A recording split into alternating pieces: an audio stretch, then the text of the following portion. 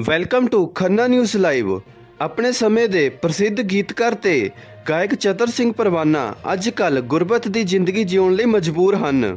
Khanna news live channel ਵੱਲੋਂ ਉਹਨਾਂ ਨਾਲ ਵਿਸ਼ੇਸ਼ ਗੱਲਬਾਤ ਕੀਤੀ ਗਈ। ਜ਼ਿਕਰਯੋਗ ਹੈ ਕਿ ਚਤਰ ਸਿੰਘ ਪਰਵਾਨਾ ਦੇ ਲਿਖੇ ਗੀਤ ਐਚਐਮਵੀ ਕੰਪਨੀ ਵੱਲੋਂ ਰਿਕਾਰਡ ਕਰਵਾਏ ਜਾਂਦੇ ਰਹੇ ਹਨ। 1942 ਵਿੱਚ ਜਨਮੇ ਚਤਰ ਸਿੰਘ ਪਰਵਾਨਾ 1957 ਵਿੱਚ ਗੀਤ ਲਿਖਣ ਲੱਗ ਗਏ ਸਨ। ਉਹਨਾਂ ਦੇ ਮਕਬੂਲ ਗੀਤ, ਮਿੱਤਰਾਂ ਦੇ ਟਿਊਬਵੈਲ ਤੇ ਲੀੜੇ ਧੋਣ ਦੇ ਬਹਾਨੇ ਆ ਜਾ। ਹੁਣ ਮੇਰੇ ਬਾਪੂ ਨੇ ਨਲਕੇ ਤੇ ਮੋਟਰ ਲਾਤੀ। ਮਿੱਤਰਾਂ ਦਾ ਚੱਲਿਆ ਟਰੱਕ ਨਹੀਂ ਚੁੱਪ ਕਰਕੇ ਚੜ ਜਾ। ਮੈਂ ਕੁੱਤੇ ਵਾਲੀ ਕੰਪਨੀ ਤੇ ਤਵੇ ਭਰਾਉਣ ਚੱਲੀ ਚੱਲੀਆਂ ਇਹ ਗੀਤ ਅੱਜ ਵੀ ਸਰੋਤਿਆਂ ਦੀ ਜ਼ੁਬਾਨ ਤੇ ਸੁਣੇ ਜਾ ਸਕਦੇ ਹਨ। ਪਰੰਤੂ ਸਮੇਂ ਦੀਆਂ ਸਰਕਾਰਾਂ ਵੱਲੋਂ ਗੀਤਕਾਰ ਚਤਰ ਸਿੰਘ ਪਰਵਾਨਾ ਦੀ ਕੋਈ ਸਾਰ ਤੱਕ ਨਹੀਂ ਲਈ ਗਈ ਅਤੇ ਨਾ ਹੀ ਉਹਨਾਂ ਦੀ ਕੋਈ ਮਾਲੀ ਮਦਦ ਕੀਤੀ ਗਈ ਹੈ। ਇੰਨਾ ਹੀ ਨਹੀਂ, ਉਹਨਾਂ ਨੂੰ ਬੁਢਾਪਾ ਪੈਨਸ਼ਨ ਵੀ ਨਹੀਂ ਮਿਲ ਰਹੀ। ਖੁਦ ਆਪਣੇ ਸਮੇਂ ਦੇ ਪ੍ਰਸਿੱਧ ਕਲਾਕਾਰ ਰਹੇ ਭਗਵੰਤ ਮਾਨ ਦੀ ਸਰਕਾਰ ਤੋਂ ਕੁਝ ਆਸ ਬੱਜੀ ਹੈ ਕਿ ਗੁਰਬਤ ਦੀ ਜ਼ਿੰਦਗੀ ਜੀ ਰਹੇ ਚਤਰ ਸਿੰਘ ਪਰਵਾਨਾ ਦੀ ਸਾਰ ਲਈ ਜਾ ਸਕੇ ਅਤੇ ਉਹਨਾਂ ਦਾ ਆਖਰੀ ਸਮਾਂ ਕੁਝ ਸੁਖਾਲਾ ਹੋ ਸਕੇ। ਚਤਰ ਸਿੰਘ ਪਰਵਾਨਾ ਜੀ, ਤੁਹਾਡਾ ਜਨਮ ਸਥਾਨ ਕਿੱਥੇ ਆ? ਕਿਹੜੇ ਸੰਨ 'ਚ ਤੁਹਾਡਾ ਜਨਮ ਹੋਇਆ? ਮੇਰੇ ਰਿਸਪੈਕਟਡ ਚੰਨੀ ਪੱਤਰਕਾਰ ਜੀ ਖਰਨੇ ਵਾਲੇ, ਤੁਸੀਂ ਆਏ ਹੋ ਪਹਿਲਾਂ ਤਾਂ ਮੇਰਾ ਇਹ ਬਹੁਤ ਭਾਵ ਚੰਗਾ ਹੈ। ਮੇਰੇ ਵਾਸਤੇ ਰੱਬ ਧਰਤੀ ਤੇ ਆ ਗਿਆ। ਦੱਸਣਾ ਇਹ ਹੈ ਕਿ ਮੇਰਾ ਜਨਮ ਲੈਲਪੁਰ ਜ਼ਿਲ੍ਹਾ ਪਾਕਿਸਤਾਨ ਵਿੱਚ ਹੋਇਆ 2 ਜੂਨ 1942 ਨੂੰ। ਜੀ। ਗਾਇਕੀ ਦਾ ਸਫ਼ਰ ਕਿੱਥੋਂ ਸ਼ੁਰੂ ਕੀਤਾ ਕਿਹੜੇ ਸੰਨ 'ਚ ਕੀਤਾ? ਅੰਦਾਜ਼ਾ 1957 ਵੈਸੇ ਇਸ ਤੋਂ ਪਹਿਲਾਂ ਵੀ ਮੈਂ ਮੈਂ ਸਕੂਲਾਂ ਵਿੱਚ ਵੀ ਗਾਉਂਦਾ ਰਿਹਾ ਤੇ ਅਹ, 1957 ਵਿੱਚ ਭਵਰਾ ਸਾਹਿਬ ਦੇ ਕੋਲ ਪਹੁੰਚਣ ਦਾ ਕਾਰਨ ਬਣਿਆ। ਮੇਰੀ ਭੈਣ ਜੀ ਦੇ ਕੋਲ ਰਿੰਦਰ ਰਾਜਨ ਪੜ੍ਹ ਕੇ ਗਈ ਸੀ। ਮੈਂ ਉਹਦੇ ਬਹਾਨੇ ਭਵਰਾ ਸਾਹਿਬ ਕੋਲ ਪਹੁੰਚ ਗਿਆ। ਇੱਥੋਂ ਸ਼ੁਰੂ ਹੋਇਆ ਤੇ ਇਸ ਤੋਂ ਬਿਨਾਂ ਕਾਰੋਬਾਰ ਵੀ ਬਹੁਤ ਕੀਤੇ। ਉਹ ਫਿਰ ਤੁਸੀਂ ਪੁੱਛੋਗੇ ਮੈਂ ਦੱਸਾਂਗਾ। ਤੇ ਤੁਸੀਂ ਕਿਹੜੇ ਕਿਹੜੇ ਗੀਤ ਲਿਖੇ ਜੋ ਵੱਖ-ਵੱਖ ਕਲਾਕਾਰਾਂ ਨੇ ਜਾਂ ਤੁਸੀਂ ਗਾਏ ਜੋ ਬਹੁਤ ਹੀ ਮਕਬੂਲ ਹੋਏ? ਹਾਂ, ਮੇਰੇ ਗੀਤਾਂ ਨੂੰ ਹਰਚਰਨ ਗਰੇਵਾਲ ਨੇ ਵੱਧ ਤੋਂ ਵੱਧ ਸੀਮਾ ਜੀ ਦੇ ਨਾਲ ਗਾਇਆ। ਕਿਹੜਾ ਗੀਤ ਸੀਗਾ ਜੀ ਉਹ? ਤਰ੍ਹਾਂ ਦੇ ਟਿਊਬਵੈਲ ਤੇ ਲੀੜੇ ਧੋਣ ਦੇ ਬਹਾਨੇ ਆ ਜਾ ਹੁਣ ਮੇਰੇ ਬਾਪੂ ਨੇ ਨਾਲ ਕਿਤੇ ਮੋਟਰ ਲਾ ਲਈ ਤੇ ਮਿੱਤਰ ਉਹਨੇ ਮੇਰੇ ਅੰਦਾਜ਼ਾ 100 ਗੀਤ ਤੋਂ ਵੀ ਵੱਧ ਗੀਤ ਰਿਕਾਰਡ ਕਰਾਏ। ਸਾਹਮਣੇ ਜਵਾਰੀ ਨਹੀਂ ਮੈਂ ਖੇਲਾਂ ਗੀਟੀਆਂ ਰਜਿੰਦਰ ਰਾਜਨ ਤੇ ਜਗਜੀਤ ਜੀਰ ਵੀ। ਇਹ- ਇਸ ਤੋਂ ਬਾਅਦ ਸੁਰਿੰਦਰ ਕੌਰ ਦਿੱਲੀ ਵਾਲੀ ਹ- ਅ, ਤੇ ਮ- ਮ- ਰਮੇਸ਼ ਰੰਗੀਲਾ ਮਿੱਤਰਾਂ ਦਾ ਚੱਲਿਆ ਟਰੱਕ ਨਹੀਂ ਚੁੱਪ ਕਰਕੇ ਚੜ ਜਾ ਇੱਕ ਤੁਹਾਡਾ ਗੀਤ ਮਕਬੂਲ ਹੋਇਆ ਸੀ ਮੈਨੂੰ ਲੈ ਚੱਲ ਲੁਧਿਆਣੇ। ਮੈਂ- ਹਾਂਜੀ। ਮਿੱਤਰ ਦਾ ਚੱਲਿਆ ਟਰੱਕ ਨਹੀਂ ਚੁੱਪ ਕਰਕੇ ਚੜ ਜਾ, ਉਹੀ ਗੀਤ ਹੈ, ਪਰਵਾਨੇ ਤੇਰੇ ਪੁੱਠੇ ਕਾਰੇ ਮੈਂ ਬਿਲਕੁਲ ਨਾ ਸਹਿਦੀ, ਮੈਨੂੰ ਪਊਗਾ ਮਹਿੰਗਾ, ਮੈਂ ਡਰਦੀ ਨਾ ਬਹਿੰਦੀ। ਪੰਜਾਬੀ ਗੀਤਕਾਰੀ ਦੇ ਥੰਮ, ਗਾਇਕੀ ਦੇ ਥੰਮ, ਚਤਰ ਸਿੰਘ ਜੀ ਪਰਵਾਨਾ, ਜੋ ਕਿਸੇ ਵੀ ਜਾਣ ਪਹਿਚਾਣ ਦੇ ਮਹਤਾਜ ਨਹੀਂ ਅੱਜ ਬੇਹੱਦ ਗਰੀਬੀ ਦੇ ਨਾਲ ਜੂਝ ਰਹੇ ਨੇ। ਜਿਨ੍ਹਾਂ ਦੇ ਰਿਕਾਰਡ ਗੀਤ ਅੱਜ ਵੀ ਟੇਪਾਂ ਦੇ ਵਿੱਚ ਨੈੱਟ ਦੇ ਉੱਤੇ ਵੱਜਦੇ ਨੇ। ਜਿਨ੍ਹਾਂ ਦੇ ਵਿੱਚ ਬਹੁਤ ਹੀ ਮਕਬੂਲ ਗੀਤ ਜਿਵੇਂ ਮਿੱਤਰਾਂ ਦੇ ਟਿਊਬਵੈਲ ਤੇ ਲੀੜੇ ਧੋਣ ਦੇ ਬਹਾਨੇ ਆ ਜਾ।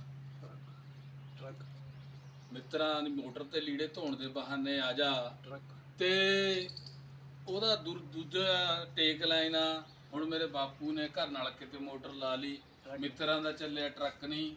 ਚੁੱਪ ਕਰਕੇ ਚੜ ਜਾ। ਹੋਰ ਵੀ ਬਹੁਤ ਮਕਬੂਲ ਗੀਤ ਨੇ, ਜਿਹੜੇ ਤੁਹਾਨੂੰ ਅੱਗੇ ਜਾ ਕੇ ਡਿਟੇਲ ਦਵਾਂਗੇ। ਅੱਜ ਆਪਣੇ ਧੀ ਜਵਾਈ ਕੋਲ ਮਹਿੰਦੀਪੁਰ ਪਿੰਡ ਦੇ ਵਿੱਚ ਇਹ ਰਹਿ ਰਹੇ ਨੇ, ਗਰੀਬੀ ਨਾਲ ਜੂਝ ਰਹੇ ਨੇ ਦਵਾਈ ਤੋਂ ਲਾਚਾਰ ਨੇ ਤੇ ਇਹਨਾਂ ਨੂੰ ਬੁਢਾਪਾ ਪੈਨਸ਼ਨ ਵੀ ਨਹੀਂ ਲੱਗੀ ਹੈਗੀ। ਮੈਂ ਸਮੇਂ ਦੀਆਂ ਸਰਕਾਰਾਂ ਨੂੰ ਜਾਂ ਅੱਜ ਦੀ ਸਰਕਾਰ ਨੂੰ ਬੇਨਤੀ ਕਰਦਾ ਕਿ ਇਹਨਾਂ ਨੂੰ ਘੱਟੋ ਘੱਟ ਪੈਨਸ਼ਨ ਜ਼ਰੂਰ ਲਾਈ ਜਾਵੇ ਤਾਂ ਕਿ ਆਪਣੀ ਗੁਜ਼ਰ ਬਸਰ ਆ ਜਿਹੜੀ ਆਪਣਾ ਅੰਤਮ ਸਮਾਂ ਉਹ ਵਧੀਆ ਤਰੀਕੇ ਨਾਲ ਉਹ ਲੰਘਾ ਸਕਣ ਤੇ ਬਾਕੀ ਗੱਲਾਂ ਕਰਦੇ ਹਾਂ ਆਪਾਂ। ਅੰਦਰ ਬੈਠ ਕੇ। ਆਓ ਜੀ ਪਰਵਾਨਾ ਜੀ ਤੁਹਾਨੂੰ ਕੋਈ ਸਹਿਯੋਗ ਮਿਲਿਆ ਸਰਕਾਰਾਂ ਤੋਂ? ਨਹੀਂ ਜੀ ਕੋਈ ਸਹਿਯੋਗ ਸਰਕਾਰ ਵੱਲੋਂ ਨਹੀਂ ਹੋਇਆ ਅੱਜ ਤੱਕ ਨਾ ਪੈਨਸ਼ਨ ਲੱਗੀ ਹੈ ਜੀ। ਬਾਕੀ ਜਿਨ੍ਹਾਂ ਵੱਲੋਂ ਸਹਿਯੋਗ ਮਿਲ ਰਿਹਾ ਤੇ ਉਹ ਉਹ- ਉਹਨਾਂ ਵਿੱਚੋਂ ਕੁਝ ਬੰਦੇ ਐਸੇ ਨੇ ਤੇ ਇੰਟਰਵਿਊ ਸੁਣ ਕੇ ਰਹਿਮ ਕਰਦੇ ਆ। ਬੰਬੇ ਵਾਲੇ ਬਾਬੂ ਜੀ ਇੱਕ ਅ, ਬ- ਬਨੁੰਦੀ ਸਾਹਿਬ ਤੇ ਜਾਂ ਅਮਰੀਕਾ ਵਾਲੇ ਅ, ਕਰਨੈਲ ਸਿੰਘ ਉਹ ਕੁਛ ਰਹਿਮ ਕਰਦੇ ਮੇਰੇ ਤੇ ਉਹ ਕਰਦੇ ਰਹਿੰਦੇ ਆ। ਇਸੇ ਤਰ੍ਹਾਂ ਮੈਂ ਨਵੇਂ ਗੀਤਕਾਰਾਂ ਨੂੰ ਕਹੂੰਗਾ ਵੀ ਉਹ ਗੀਤਾਂ ਨੂੰ ਐਂ ਲਿਖੋ ਜਿਹਦੇ ਵਿੱਚ ਸਮਾਜ ਨੂੰ ਕੋਈ ਭਲਾਈ ਜਾਂ ਕੋਈ ਸੇਧ ਮਿਲ ਸਕੇ ਸੇਧ ਮਿਲ ਸਕੇ। ਸਰਕਾਰ ਨੇ ਤੁਹਾਡੀ ਹੁਣ ਤੱਕ ਜੋ ਸਮੇਂ-ਸਮੇਂ ਦੀਆਂ ਸਰਕਾਰਾਂ ਪੰਜਾਬ ਦੇ ਵਿੱਚ ਆਈਆਂ ਤੁਹਾਡੀ ਕਿਸੇ ਨੇ ਸਰਕਾਰ ਨੇ ਕੋਈ ਮਦਦ ਕੀਤੀ? ਸਰਕਾਰ ਵੱਲੋਂ ਮਦਦ ਕੋਈ ਨਹੀਂ ਹੋਈ। ਉੱਦਾਂ ਸਟੇਜਾਂ ਉੱਤੇ ਬਹੁਤ ਜ਼ਿਆਦਾ ਜਾਂਦਾ ਰਿਹਾ। ਮੈਂ ਨੱਚਦਾ ਗਾਉਂਦਾ ਲਿਖਦਾ ਤੇ ਮੈਂ, ਸਨਮਾਨ ਪਿੰਡਾਂ ਵਿੱਚ ਹੋਏ ਪਰ ਸਰਕਾਰ ਵੱਲੋਂ ਮਦਦ ਨਹੀਂ ਹੋਈ। ਅਜੇ ਪੈਨਸ਼ਨ ਵੀ ਨਹੀਂ ਦਿੰਦੀ ਤੇ ਇੰਟਰਵਿਊ ਸੁਣ ਕੇ ਕਈ ਵਾਰੀ ਮੇਰੀ ਮਦਦ ਰਹਿਮ ਕਰਨ ਵਾਲੇ ਲੋਕ ਭੇਜ ਦਿੰਦੇ ਆ ਮੇਰਾ ਟਾਈਮ ਪਾਸ ਹੁੰਦਾ ਹੈ। ਹੁਣ ਮੈਂ ਬਲਵੀਰ ਜਵਾਈ ਲਵਲੀ ਲੜਕੀ ਦੇ ਕੋਲ ਠਹਿਰਿਆ ਵਾਂ। ਜਾਇਦਾਦ ਸਾਰੀ ਆਈ ਬਹੁਤ ਔਰ ਗਈ ਬਹੁਤ ਉਹਦੇ ਬਾਰੇ ਦੱਸਿਆ ਜਾਊਗਾ ਠਹਿਰ ਕੇ। ਹਾਕਮ ਬਖਤੜੀ ਵਾਲੇ ਨੇ ਤੁਹਾਡੀ ਕੋਈ ਮਦਦ ਕੀਤੀ ਜੋ ਬਹੁਤ ਵਧੀਆ ਗੀਤਕਾਰ ਨੇ ਤੇ ਗਾਇਕ ਨੇ? ਹਾਕਮ ਬਖਤੜੀ ਵਾਲੇ ਨੂੰ ਮੈਂ ਆਪਣੀ ਫਾਈਲ ਪੈਨਸ਼ਨ ਦੀ ਫਾਈਲ ਪਹੁੰਚਾਈ ਹੈ ਪਰ ਅਜੇ ਤੱਕ ਉਹਨਾਂ ਨੇ ਉਹ ਧਿਆਨ ਨਹੀਂ ਮਾਰਿਆ। ਹੁਣ ਤੁਹਾਡੇ ਕਹਿਣ ਤੇ ਉਹ ਉਹ ਜ਼ਰੂਰ ਕਰਨਗੇ। ਠੀਕ ਹੈ। ਐਚਐਮਬੀ ਕੰਪਨੀ ਨੇ ਤੁਹਾਡੇ ਵੱਧ ਤੋਂ ਵੱਧ ਗੀਤ ਰਿਕਾਰਡ ਕਰਾਏ ਤੇ ਕੋਈ ਰਿਐਲਿਟੀ ਮਿਲੀ ਤੁਹਾਨੂੰ? ਜਾਂ ਮਿਲਦੀ ਆ ਹੁਣ?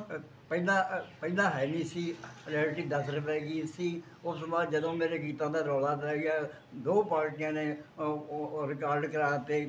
ਉਸ ਰੌਲੇ ਵਿੱਚ ਮੈਨੂੰ ਜਾਣਾ ਪਿਆ ਨਾਲ ਉੱਥੇ ਐਚਐਮਬੀ ਵਿੱਚ ਦਿੱਲੀ। ਤੇ ਫਿਰ ਉੱਥੇ ਜਮਲਾ ਜੱਟ ਟੱਕਰਿਆ। ਅੱਜ ਮੇਰੀ ਦਾਤਿਆ ਕੱਲ ਕਬੂਲੀ ਆਏਗੀ। ਗਾ ਰਿਹਾ ਸੀ। ਉਹਨੇ ਬਾਬੂ ਜੀ ਨੂੰ ਕਹਿ ਕੇ ਮੇਰੀ ਰਿਐਲਿਟੀ ਸ਼ੁਰੂ ਕਰਵਾ ਦਿੱਤੀ। ਬਿੱਟੂ ਖੰਨੇ ਵਾਲੇ ਨੇ ਵੀ ਤੁਹਾਡੇ ਕੋਈ ਗੀਤ ਗਾਏ ਨੇ ਜੀ? ਹਾਂਜੀ ਕੰਦੀ ਸਾਹਿਬ ਉਹਨਾਂ ਨੇ ਮਿੱਤਰਾਂ ਦਾ ਟਰੱਕ ਪੰਜ ਛੇ ਵਾਰੀ ਰਿਕਾਰਡ ਹੋਇਆ। ਇੱਕ ਵਾਰੀ ਇਹਨਾਂ ਨੇ ਵੀ ਰਿਕਾਰਡ ਕਰਾ ਕੇ ਉਹ ਟੀਵੀ ਤੇ ਦਿੱਤਾ ਸੀਗਾ। ਸਰਮ ਸਰਮਣੀ ਜੀ ਤੇ ਬਿੱਟੂ ਜੀ ਨੇ ਵੀ ਲਵਾਇਆ ਸੀਗਾ। ਬਾਬਾ ਵੇ ਕਲਮ ਰੋਡ ਗੀਤ ਇਹ ਵੀ ਤੁਹਾਡਾ ਸੀਗਾ ਜੀ? ਨਹੀਂ ਜੀ ਇਹ ਇਹ ਮੇਰਾ ਨਹੀਂ ਸੀ। ਮੇਰੀ ਹੋਰ ਰਿਕਾਰਡਿੰਗ ਬਹੁਤ ਜ਼ਿਆਦਾ, ਜਿਹੜੀ ਮੈਂ ਜੇ ਦੱਸਣ ਲੱਗ ਜਾਂਦਾ ਇਹ ਹੁਣ ਤੋਂ ਲੈ ਕੇ ਤੁਹਾਡੇ ਕੋਲ ਟਾਈਮ ਖਤਮ ਹੋ ਜਾਊਗਾ, ਰਾਤ ਪੈ ਜਾਊਗੀ। ਇੰਨੀ ਰਿਕਾਰਡਿੰਗ ਬਹੁਤ ਜ਼ਿਆਦਾ ਹੋਈ ਹੈ। ਖੰਨਾ ਨਿਊਜ਼ ਲਾਈਵ ਲਈ ਗੁਰਚਰਨ ਸਿੰਘ ਚੰਨੀ ਦੀ ਖਾਸ ਰਿਪੋਰਟ।